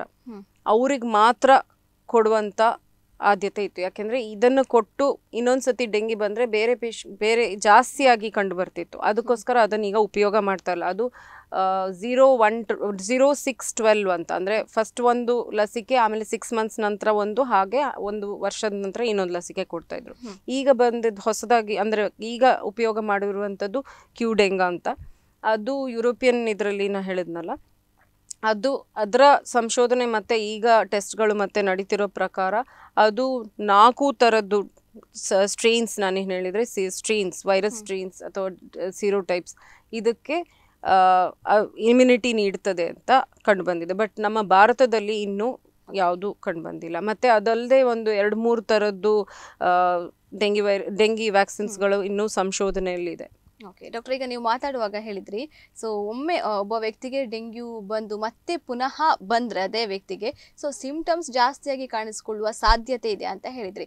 ಸೊ ಈಗ ಒಬ್ಬ ವ್ಯಕ್ತಿಗೆ ಈಗ ಡೆಂಗ್ಯೂ ಬಂದಿರ್ತದೆ ಟ್ರೀಟ್ಮೆಂಟ್ ಆಗ್ತದೆ, ಗುಣಮುಖರಾಗ್ತಾರೆ ಸೊ ಮತ್ತೆ ಪುನಃ ಬರ್ತದೆ. ಯಾವ ಕಾರಣದಿಂದ ಅವರಿಗೆ ಮತ್ತೆ ಪುನಃ ಡೆಂಗ್ಯೂ ಬರ್ತದೆ ಡಾಕ್ಟರ್ ಅದೇ, ನಾನು ನಾನು ಆಲ್ರೆಡಿ ಹೇಳಿದೆ ಒಂದು ಸತಿ ಒಂದು ಡೆನ್ ಒನ್ ಸ್ಟ್ರೈನಿಂದ ವೈರಸ್ ಅದು ಇನ್ನೂ ಮೂರು ವೈರಸ್ಗಳಿವೆ ಸೊ ಅದಕ್ಕೆ ಏನು ಲೈಫ್ ಲಾಂಗ್ ಇಮ್ಯುನಿಟಿ ಯಾಕೆಂದರೆ ಏನು ಜ ಈಗ ನಮ್ಮ ಬಾಡಿಯಲ್ಲಿ ಏನು ಆಟೋ ಆ್ಯಂಟಿಬಾಡೀಸ್ ಆಗಲಿ ಆ್ಯಂಟಿಬಾಡೀಸ್ ಪ್ರೊಡ್ಯೂಸ್ ಆಗುತ್ತೆ ಅದು ಒಂದು ವೈರಸ್ ಅಥವಾ ಬ್ಯಾಕ್ಟೀರಿಯಾದ್ದು ಕಾಂಪೊಸಿಷನ್ ಅಂತ ಆರ್ ಎನ್ ಎ ಅಥವಾ D N A chromosomal composition ಅಂತ ಹೇಳ್ತೇವೆ ಜೀನೋಮಿಕ್ ಕಾಂಪೋಸಿಷನ್ ಕಾಂಪೊಸಿಷನ್ ಸೊ ಆ ಜೀನೋಮಿಕ್ ಕಾಂಪೊಸಿಷನ್ ಈ ನಾಲ್ಕು ವೈ ಸ್ಟ್ರೈನ್ಗಳದ್ದು ಒಂದು ಅರವತ್ತು ಐದು ಪರ್ಸೆಂಟ್ ಅಷ್ಟು ಸಿಮಿಲರ್ ಇರ್ತದೆ. ಬಟ್ ಆದ್ರೂ ಇನ್ನು ಮೂವತ್ತೈದು ಪರ್ಸೆಂಟ್ ಅಷ್ಟು ಡಿಫ್ರೆನ್ಸ್ ಇರೋದ್ರಿಂದ. ಸೊ ಅದು ಒಂದು ಸ್ಟ್ರೈನಿಗೆ ಮಾತ್ರ ಇಮ್ಯುನಿಟಿ ಬರ್ತದೆ. ಸೊ ಇನ್ನೊಂದು ಸ್ಟ್ರೈನಿಂದ ಮತ್ತೊಂದು ಸತಿ ಅವ್ನು ಬಳಲ್ಬಹುದು. ಆದರೆ ಇದು ಹಂಡ್ರೆಡ್ ಪರ್ಸೆಂಟ್ ಪ್ರತಿ ಸತಿನೂ ಜಾಸ್ತಿ ಎಲ್ಲ ಪೇಷಂಟ್ಗೂ ಜಾಸ್ತಿಯೇ ಇನ್ನೊಂದು ಸತಿ ಬರ್ತದೆ ಅಂತ ಅಲ್ಲ. ಆದರೆ ಹೆಚ್ಚಾಗಿ ಸಂಶೋಧನೆಗಳನ್ನು ಕಂಡು ಬಂದ ಮಾಡಿದ್ದಲ್ಲಿ. ಅದರಲ್ಲಿ ಕಂಡು ಬಂದ ಪ್ರಕಾರ ಒಂದು ಸ್ಟ್ರೈನಿಂದ ಒಂದು ಸತಿ ಬಂತು ಇನ್ನೊಂದು ಸತಿ ಡೆಂಗಿ ಬಂದ ಪೇಷಂಟಿಗೆ ಒಂದು ಸ್ವಲ್ಪ ಮುಂಚೆ ಮುಂಚೆಕ್ಕಿಂತ ಸ್ವಲ್ಪ ಜಾಸ್ತಿ ಆದ ಚಿಹ್ನೆಗಳು ಲಕ್ಷಣಗಳು ಕಂಡು ಬಂದಿ ಬಂದಿದೆ. ಅದಕ್ಕೋಸ್ಕರ ಈ ತರ ಹೇಳಿದ್ದಾರೆ. ಹಾಗಂತ ಹೇಳಿಬಿಟ್ಟು ಪ್ರತಿ ಸತಿನೂ ಪೇಷಂಟ್ಗಳು ಏನು ಹೆದ್ರಿ ಮತ್ತೆ. ಅಡ್ಮಿಟ್ ಆಗಿ ಜೋರಾಗುತ್ತೆ ಆ ಥರ ಅಲ್ಲ. ಬಟ್ ಮುಂಚೆ ಏನೂ ಇಲ್ಲದೆ ಇರ್ಬೋದು. ಮಾರನೇ ಸತಿ ಬರುವಾಗ ಸ್ವಲ್ಪ ಜಾಸ್ತಿ ಸಿಂಪ್ಟಮ್ಗಳು ಕಂಡು ಬರ್ಬೋದು ಅಷ್ಟೇ. ಅವ್ರೀಗ ಒಮ್ಮೆ ಡೆಂಗ್ಯೂ ಬಂದ ಆದ್ಮೇಲೆ ಸೊ ಯಾವ ರೀತಿಯಲ್ಲಿ ಕೇರ್ ತಗೊಳ್ಬೇಕು ಅವರನ್ನು ಅವರು ಅಂತ? ಇದು ಬರೀ ಪೇಷಂಟ್ಸ್ ಮಾತ್ರ ಅಲ್ಲ ನಾವೆಲ್ಲರೂ ಏನು ಮಾಡ್ಬೋದು. ಇಡೀ ಸಮಾಜದಲ್ಲಿ ನಾವು ಏನು ಮಾಡ್ಬೋದು ಅಂತ ಹೇಳಿ ಬರುವಂಥ ಪ್ರಶ್ನೆ ಇದು. ಸೊ ನಾನು ಆಗಲೇ ಹೇಳಿದೆ ಮುಸ್ಸಂಜೆ ಅಥವಾ ಮುಂಜಾನೆ ಟೈಮಲ್ಲಿ ಜಾಸ್ತಿ. ಆದ್ರಿಂದ ಹೊರಗೆ ಹೋಗುವಾಗ ಆದಷ್ಟು ಫುಲ್ ಕೈ ಶರ್ಟ್ಗಳನ್ನು ಪ್ಯಾಂಟ್ಗಳನ್ನು ಅಥವಾ ಫುಲ್ ಕವರ್ ಮಾಡಬೇಕು. ಎಸ್ಪೆಷಲಿ ಮಕ್ಕಳು ಆಟ ಆಡ್ತಾರೆ ಹೊರಗಡೆ ಹೋಗಿ. ಆದಷ್ಟು ಅವ್ರಿಗೆ ಈ ಫುಲ್ ಕೈ ಫುಲ್ ತೋಳಿದ್ದು ಅಂಗಿಗಳನ್ನು ಹಾಕಿ ಕಳಿಸಿ. ಅದಲ್ಲದೆ ಈಗ ಮಕ್ಕಳಿಗೆ ಫ್ಯಾಬ್ರಿಕ್ ರೋಲ್ ಆನ್ ಅಂತ ಬರುತ್ತೆ. ಮಕ್ಕಳದ್ದು ಮೈಗೆ ಹಾಕುವಂಥದ್ದಲ್ಲ. ಫ್ಯಾಗ್ ಫ್ಯಾಬ್ರಿಕ್ ಮೇಲೆ ಈಗ ಇದು ಡೀಟ್ ಅಥವಾ ಬೇರೆ ಪರ್ಮೆತ್ರಿನ್ ಅಂತೆಲ್ಲ ಬರುತ್ತೆ. ಅಂದರೆ ಸೊಳ್ಳೆ ಓಡಿಸುವಂಥದ್ದು. ಸೊ ಕೆಲವುದು ಯೂಕಲಿಪ್ಟಸ್ ಆಯಿಲ್ ಅಥವಾ ಈವನ್ ನಿಂಬೆ ಆಯಿಲ್ ಏನಿರುತ್ತಲ್ಲ ಲೆಮನ್ ಆಯಿಲ್ ಅದರಿಂದನೂ ಈ ಸೊಳ್ಳೆಗಳನ್ನು ದೂರ ಮಾಡ್ಬೋದು ಅಂತ ಸಂಶೋಧನೆಗಳಿವೆ. ಆದ್ದರಿಂದ ಯೂಕಲಿಪ್ಟಸ್ ಆಯಿಲ್ ಆದರೂ ಸಹ ಸ್ವಲ್ಪ ಹಾಕಿದರೆ ನೀಲಗಿರಿ ಎಣ್ಣೆ ಸ್ವಲ್ಪ ಅಂಗಿ ಮೇಲೂ ಸವರ್ಬೋದು. ಸೊ ಅದಲ್ಲದೆ ಈಗ ಸಾ ನಾನು ಆಲ್ರೆಡಿ ಹೇಳಿದ್ದೀನಿ ಈ ಯಾವ್ದು ಯಾವುದರಿಂದ ಈ ಹೂದಾನಿಗಳನ್ನು ಅಥವಾ ಯಾವುದೇ ನಾವು ಉಪಯೋಗ ಮಾಡದೆ ಹಾಗೆ ಇಟ್ಟಿರುವ ಬಕೆಟ್ಗಳಾಗಲಿ ನೀರು ಅರ್ಧ ನೀರು ತುಂಬಿರುವಂಥದ್ದು ಅಥವಾ ಈ ವೇಸ್ಟ್ ಟೈರ್ಗಳನ್ನು ಡಿಸ್ಕಾರ್ಡ್ ಮಾಡ್ಬೋದು ಅಥವಾ ಈ ಇದನ್ನು ಆದಷ್ಟು ಹೂದಾನಿಗಳನ್ನು ವಾರಕ್ಕೊಮ್ಮೆ ಆದರೂ ನಾವು ಕ್ಲೀನ್ ಮಾಡಿ ಅಂದರೆ ಬ್ರಷ್ ಮಾಡಿ ಕ್ಲೀನ್ ಮಾಡಿ. ಯಾಕೆಂದರೆ ಒಳಗಡೆ ಮೊಟ್ಟೆ ಇದ್ದು ಸೊಳ್ಳೆ ಇದ್ದು ಮೊಟ್ಟೆ ಇದ್ದರೆ ಅದು ಕ್ಲೀನಾಗಿ ಹೋಗಲಿ ಅಂತ ಇದನ್ನೆಲ್ಲ ಮಾಡ್ಬೋದು. ಅಲ್ಲದೆ ಸೊಳ್ಳೆ ಪರದೆಗಳು. ಅದು ಇದ್ದದ್ರಲ್ಲಿ ತುಂಬ ಇಂಪಾರ್ಟೆಂಟ್ ರಾತ್ರಿ ಮಲಗುವಾಗ ಸೊಳ್ಳೆ ಪರದೆ ಯಾಕಂದ್ರೆ ಎಷ್ಟಿದ್ರೂ ಈ ವೇಪರೈಸರ್ ಆಗಲಿ ನಾವು ಕಾಯಿಲ್ಗಳು ಮಾಸ್ಕಿಟೋ ಕಾಯಿಲ್ಗಳು ಎಲ್ಲ ಹೇಳ್ತೀವಿ. ಆದರೆ ಅದ್ರದ್ದು ಇನ್ಹಲೇಷನಿಂದ ಕೆಲವರಿಗೆ ಅಲರ್ಜಿ ಆಗ್ಬೋದು ಅಷ್ಟು ಒಳ್ಳೆಯದು ಅಲ್ಲ.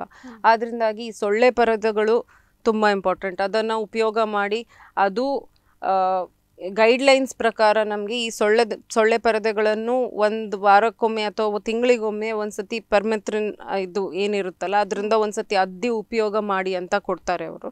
ಅಟ್ಲೀಸ್ಟ್ ಸೊಳ್ಳೆ ಪರದೆಗಳನ್ನು ಮನೆಯಲ್ಲಾಗಲಿ ಅಥವಾ ನಾವು ಮಲಗುವಾಗ ಬೆಡ್ ಸುತ್ತ ಸೊಳ್ಳೆ ಪರದೆಗಳನ್ನಾದರೂ ಉಪಯೋಗ ಮಾಡ್ಬೋದು.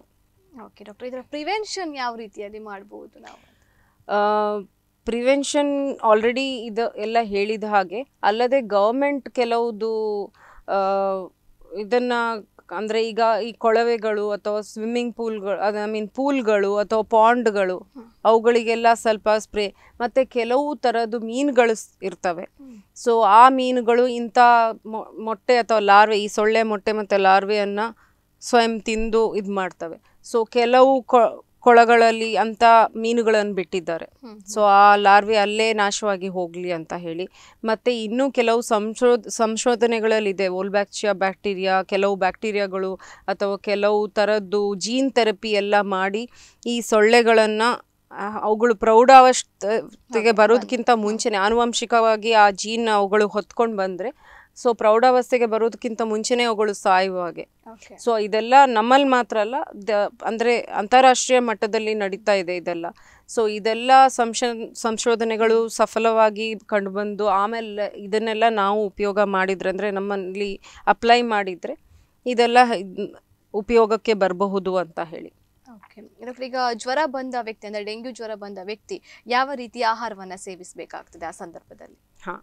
ಇದು ಎಲ್ಲರೂ ಕೇಳುವಂಥ ಪ್ರಶ್ನೆ. ಈವನ್ ಪೇಷಂಟ್ ಅಡ್ಮಿಟ್ ಆದಾಗ ಪೇಷಂಟ್ ರಿಲೇಟಿವ್ಸ್ ಕೇಳುವಂಥ ಪ್ರಶ್ನೆ ಮತ್ತೆ ಒ ಪಿ ಡಿಯಲ್ಲಿ ನಾವು ಹೇಳಿದಾಗ ಡಿಸ್ಚಾರ್ಜ್ ಆಗುವಾಗ ಕೇಳುವಂಥದ್ದು ಸೊ ಆದಷ್ಟು ಫಸ್ಟಿಗೆ ಅವರಿಗೆ ಹಸುವು ಇರುವುದಿಲ್ಲ ಜಾಸ್ತಿ. ಅದರಿಂದಾಗಿ ಅವರಿಗೆ ಫೋರ್ಸ್ ಮಾಡಿ ಎಲ್ಲ ಆಹಾರ ಕೊಡ್ಲಿಕ್ಕೆ ಹೋಗಬೇಡಿ. ಸೊ ಆದಷ್ಟು ನೀರಿನ ಅಂಶ ದಿನಕ್ಕೆ ಎರಡೂವರೆಯಿಂದ ಮೂರು ಲೀಟ್ರಷ್ಟು ನೀರು. ನೀರೇ ಕುಡಿಲಿಕ್ಕಾಗಲಿಲ್ಲ ಅಂದರೆ ಎಳ್ನೀರು ಅಥವಾ ಸೂಪ್ಗಳು ಯಾವುದು ಈಸಿಯಾಗಿ ಡೈಜೆಸ್ಟ್ ಆಗ್ತದ? ಗಂಜಿ ಹಣ್ಣಿನ ರಸ ಅಥವಾ ಹಣ್ಣನ್ನು ಕೊಡ್ಬೋದು. ಯಾವ ಹಣ್ಣು ಕೊಡ್ಬೋದು? ಇದು ಇನ್ನೊಂದು ಕೇಳೋರು ಪ್ರಶ್ನೆ. ಯಾಕೆಂದರೆ ಎಲ್ಲ ಪೇಷಂಟ್ಗಳು ನಾವು ನೋಡ್ತೀವಿ ಕಿ ಎಲ್ಲೋ ಓದಿರ್ತಾರೆ ಕಿವಿ ಹಣ್ಣು ಒಳ್ಳೆಯದು ಅಂತ. ಎಲ್ಲ ಕಿವಿ ಹಣ್ಣು ಅದು ತುಂಬ ಕಾಸ್ಟ್ಲಿ ಬೇಡ. ಎಲ್ಲ ಸಾಮಾನ್ಯವಾಗಿ ಯಾವ ಹಣ್ಣು ಸಿಗುತ್ತೋ ಪಪ್ಪಾಯ ಹಣ್ಣಾಗಲಿ ಯಾವುದು ನಿಮಗೆ ಸಿಗುತ್ತೋ ಆ ಹಣ್ಣನ್ನು ಸೇವಿಸ್ಬೋದು. ಇದೇ ಹಣ್ಣು ಅದೇ ಹಣ್ಣು ಅಂತಿಲ್ಲ. ಇನ್ನೊಂದು ನಾವು ನೋಡಿರೋದು ಪಪ್ಪಾಯ ಎಲೆಯ ಜ್ಯೂಸ್. ಇದು ಕೆಲವು ಸಂಶೋಧನೆಯಲ್ಲಿ ಮಾಡಿದ್ರು ಸಂಶೋಧನೆಗಳನ್ನು ಮಾಡಿದ್ರು ಹಿಂದೆ.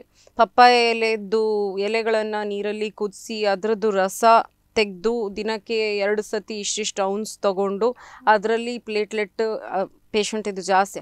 ಆದರೆ ಆ ಸಂಶೋಧನೆ ಯಾವುದ್ರಲ್ಲೂ ಕ್ಲಿಯರ್ ಅಂದರೆ ಅದು ಕ್ಲಿಯರ್ ಕಟ್ಟಾಗಿ ಇರಲಿಲ್ಲ. ಅಂದರೆ ಕೆಲವುದು ಸಣ್ಣ ಮಟ್ಟಿಗೆ ನಡೆಸಿದ ಸಂಶೋಧನೆಗಳು. ಕೆಲವುದು ಕ್ಲಿಯರ್ ಕಟ್ ಯಾಕೆಂದರೆ ನಾನು ನಿಮ್ಗೆ ಆಲ್ರೆಡಿ ಹೇಳಿದೆ. ಡೆಂಗಿ ಜ್ವರದಲ್ಲಿ ಐದು ದಿನದ ನಂತರ ಪ್ಲೇಟ್ಲೆಟ್ ತಟ್ಟೆ ಕಣಗಳು ಕಮ್ಮಿ ಆಗಿ ನಿಧಾನವಾಗಿ ಸ್ವಾಭಾವಿಕವಾಗಿಯೇ ಜಾಸ್ತಿ ಆಗ್ತಾ ಹೋಗ್ತದೆ. ಸೊ ನೀವು ಆ ಟೈಮಲ್ಲಿ ಇವರಿಗೆ ಪಪ್ಪಾಯ ಎಲೆ ಜ್ಯೂಸ್ ಕೊಟ್ರೆ ಅದರಿಂದ ಜಾಸ್ತಿ ಆಯ್ತಾ? ಸ್ವಾಭಾವಿಕವಾಗಿ ಜಾಸ್ತಿ ಆಯ್ತಾ? ಯಾರಿಗೂ ಗೊತ್ತಿಲ್ಲ. ನಾನು ಯಾಕೆ ಇದನ್ನು ಹೇಳ್ತಿರೋದು ಅಂದರೆ ಪೇಷಂಟ್ಗಳಿಗೆ ಜ್ವರ ಬಂದಿರ್ತದೆ ಊಟ ಸೇರ್ತಿರೋದಿಲ್ಲ. ಈ ಟೈಮಲ್ಲಿ ಪೇಷಂಟ್ ರಿಲೇಟಿವ್ಸ್ ಅವರಿಗೆ ಈ ಪಪ್ಪಾಯ ಜ್ಯೂಸನ್ನೆಲ್ಲ ಕೊಟ್ಟು ವಾಂತಿಯಾಗಿ, ದಯವಿಟ್ಟು ಅದನ್ನು ಫೋರ್ಸ್ ಮಾಡ್ಲಿಕ್ಕೆ ಹೋಗಬೇಡಿ. ಸ್ವಾಭಾವಿಕವಾಗಿ ಆಗ್ತದೆ, ಇಲ್ಲ ಅಂದ್ರೂ ಪ್ಲೇಟ್ಲೆಟ್ ಕೊಡುವ ಇದಿರ್ತದೆ. ಸೊ ಆದಷ್ಟು ಅವರಿಗೆ ಏನು ಸೇರುತ್ತೋ, ಒಂದೇ ಸತಿ ಜಾಸ್ತಿ ಆಹಾರ ಸೇರಲಿಲ್ಲ. ಪೌಷ್ಟಿಕ ಆಹಾರ ಅಗತ್ಯ. ಆದರೆ ಕೆಲವು ಸತಿ ಫಸ್ಟಿಗೆ ಜ್ವರ ಬರೋ ಟೈಮಲ್ಲಿ ನೀವು ಬಹಳಷ್ಟು ಪ್ರೋಟೀನ್ ಅಂಶದ್ದೆಲ್ಲ ಕೊಟ್ಟರೆ ಅವರಿಗೆ ಸಹ ಸುಲಭವಾಗಿ ಡೈಜೆಸ್ಟ್ ಆಗೋದಿಲ್ಲ. ಅದರಿಂದಾಗಿ ತಿಳಿಯಾದ ಗಂಜಿ ಅಥವಾ ಬೇಯಿಸಿದ ತರಕಾರಿ, ಹಣ್ಣುಗಳು ಅದನ್ನೇ ಜಾಸ್ತಿ ಕೊಡಿ. ಸೊ ಎಳ್ನೀರು ನಾನು ಹೇಳಿದ್ರಲ್ಲಿ ಬಹಳಷ್ಟು ಪೌಷ್ಟಿಕಾಂಶನೂ ಸಿಗುತ್ತೆ ಲವಣಾಂಶನೂ ಸಿಗುತ್ತೆ ನೀರು ಸಿಗುತ್ತೆ. ನೀರು ಕುಡಿಲಿ.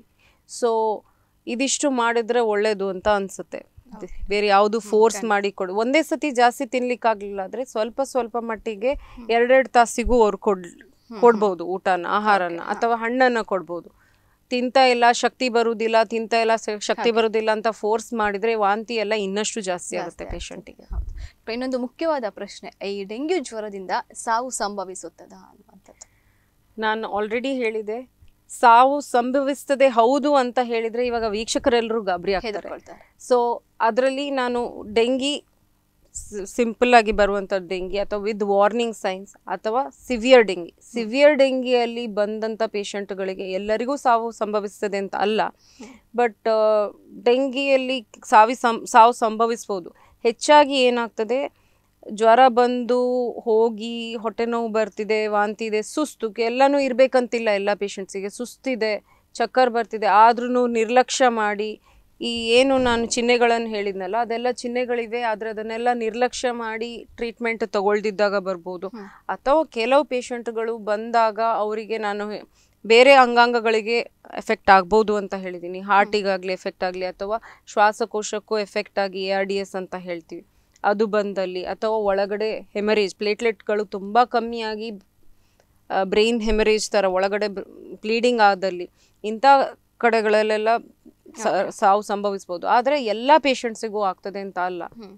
ನೋಡಿದ್ದೀವಿ ಆದರೆ ಎಲ್ಲ ಒಂದು ಪ್ರತಿ ಸತಿ ಡೆಂಗಿ ಬಂದಾಗ ಸೀಸನ್ನಲ್ಲಿ ನಾವು ವಿಪರೀತ ಡೆಂಗಿಯಿಂದಾಗಿ ಸಾವು ನೋಡಿದ್ದಿಲ್ಲ ಇಲ್ಲಿ ತನಕ. ಬಹಳಷ್ಟು ಕಮ್ಮಿ ಪ್ರಮಾಣದಲ್ಲಿ ನೋಡಿದ್ದೇವೆ. ಅದಲ್ಲದೆ ಅಲ್ಲಿ ಹೋದ ವರ್ಷ ಒಂದು ಹದಿನಾರು ಭಾರತದ ಇದರಲ್ಲಿ ಒಂದು ಹದಿನಾರು ಸಾವಿರ ಅಷ್ಟು ಇತ್ತು. ಕರ್ನಾಟಕದಲ್ಲಿ ಹದಿನಾರು ಸಾವಿರದಷ್ಟು ಸಂಖ್ಯೆಗಳು ಡೆಂಗಿ ಸಂಖ್ಯೆಗಳು ಇತ್ತು. ಸಾವು ಹೇಳ್ತಾ ಇಲ್ಲ ಜಸ್ಟ್ ಕೇಸ್ ಹೇಳ್ತಾ ಇರೋದು. ಈ ಸತಿ ಬಹಳಷ್ಟು ಕಮ್ಮಿ ಕಂಡು ಬಂದಿದೆ. ಐದರಿಂದ ಆರು ಸಾವಿರ ಅಷ್ಟೇ ಹೋದ ವರ್ಷಕ್ಕೆ ಕಂಪೇರ್ ಮಾಡಿದ್ರೆ. ಅಲ್ಲ ಇನ್ನು ಮಳೆ- ಮಳೆಗಾಲಗಳು ನಡೀತಾನೆ ಇದೆ. ಅದರಿಂದಾಗಿ ಇನ್ನೂ ಬರುವ ಚಾನ್ಸಸ್ ಇರುತ್ತೆ.